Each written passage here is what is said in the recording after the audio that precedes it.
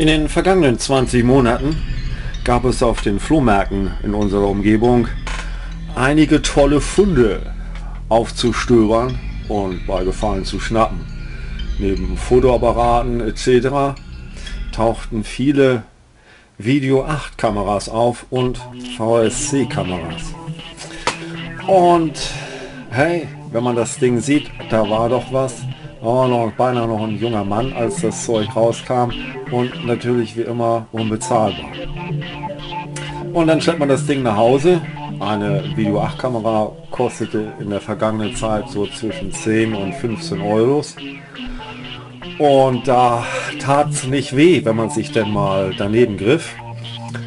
Und äh, man gibt den Namen denn auf YouTube ein und schaut mal, was andere denn dazu gemacht haben, gesagt haben, gefilmt haben. Und äh, es gab eine Reihe Modelle, die ich auf den Flohmärkten gefunden habe, die nicht reflektiert worden waren in irgendwelchen Videoclips auf YouTube. Und da dachte ich mir, hey, wenn jemand so ein Schnäppchen hat und was gibt es dazu, gibt es noch einen, der das hat? Und äh, was ist das überhaupt noch wert, bringt das was? Und äh, da dachte ich mir, ja, mach's mal ein paar Filmchen. Allerdings ist das Originalfilmchen mit den äh, Missing Model Versions 45 Minuten lang geworden und somit leider nicht für YouTube geeignet. Und von allen äh, Modellen, die ich so gegriffen habe, dachte ich mir, hey, die Samsung VPA15 ist auch nicht so präsentiert auf YouTube. Die nehme ich mal und sage ein paar Worte dazu. Das Teil ist auch vom Flohmarkt, nicht von eBay war auch etwas teurer, 25 Euro, dafür saugut erhalten. Die VPA15 von Samsung ist ein Video 8 Recorder, Camcorder. Und an dem Modell gefiel mir das aggressive Design und im Alltag das Weitwinkel. Das hatte ich so bisher noch nicht gekannt. Das Video 8 Format äh, gibt es nicht mehr zu kaufen. Man muss die Kassetten, die es in 30, 60 und ich meine in 90er Formatierung gibt, äh, irgendwo herkriegen. Manchmal sind welche bei den Kameras dabei und die sammeln sich an und dann hat man so vier, fünf Kassetten oder man müsste sie tatsächlich konkret bei eBay nochmal neu kaufen wie die VSC-Kassetten, die immer zu drei oder vier oder fünf Stück angeboten werden. Da muss man dann leider auf dem Gebrauchmarkt suchen. Die gibt es beim Elektronikverhandel nicht mehr im Regal. Für die paar Gelegenheiten im Leben, wofür man die Kassetten nutzen würde, also drei, vier, fünf Dingers lang, sage ich mir mal, bestimmt, ist ja immer ein Riesenaufwand, das Teil rumzuschleppen. Ja, gefallen hat mir das aggressive Design und das super Weitwinkel. Die einzige Panne bei dem Gerät ist, das heißt, wenn das Akku bisschen schwächer wird, dann verruckelt das Band und es gibt schwarze Streifen drin. Nun gibt es auch die Akkus leider nicht neu und man muss dann immer ein bisschen von Glück sprechen, wenn man sich beim Suchen ein paar zusammengekauft hat. Das Modell hier vor euch, vor mir, ist ziemlich gut erhalten und hat sogar die Fernbedienung dabei, die funktioniert. Da gibt es die Rekord-Taste und das Tele- und Weitwinkel und äh, man kann das Display an- und ausschalten und es gibt einen Selbstauslöser und es gibt ein paar Tasten zur Bedienung des Recorders. Und die Batterie befindet sich da in dem Schubfach, das mit einiger Gewalt aufgezogen werden muss. Dann hält man das Ding hier vorne, ist ja ein Sensor.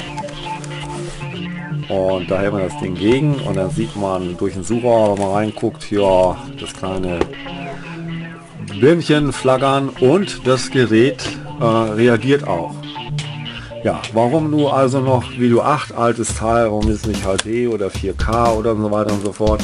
Mir persönlich gefällt die mehlige äh, Bildqualität äh, des Video 8 Bandes im Vergleich zu modernen HD Qualitäten besser, weil mein Auge ja eigentlich auch gar nicht so scharf guckt, wie HD oder 4K ist.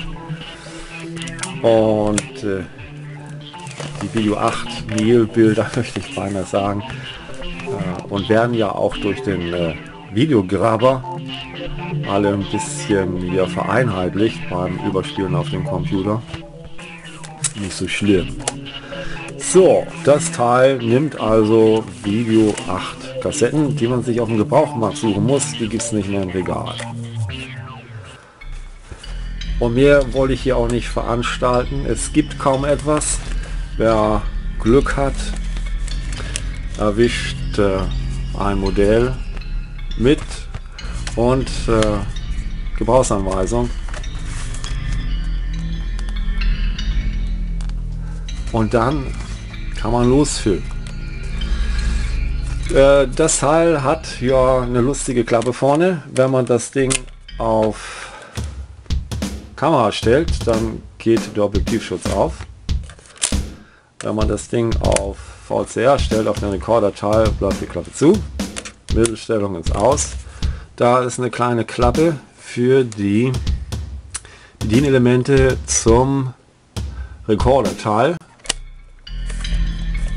Das Ding hat Reset aller Einstellungen im Display. Hat Display ein aus. Und was haben wir da noch? Ein Demo-Mode. Und dann gibt es die Gegenlichtblende und ein Fade-In, Fade-Out und den Totalschalter für alles user-friendly Programm. Und da ist ein Wahlschalter für einige Motivprogramme. Dann kann man das Teil umstellen von äh, Autofokus auf manuell Fokus. Klappt super, macht Spaß, hat ein Stereo-Mikrofon, einen Color Viewfinder, den ich auch mit Minecraft schon greifen kann nochmal eine paar Tasten, um den über eine CA-Zelle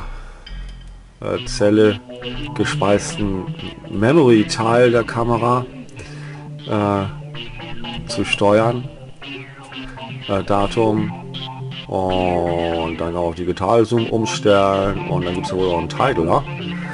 Das habe ich auch noch nicht ausprobiert. Dann die Knöpfe für öffnen, öffnen, öffnen des Tapes. Gut.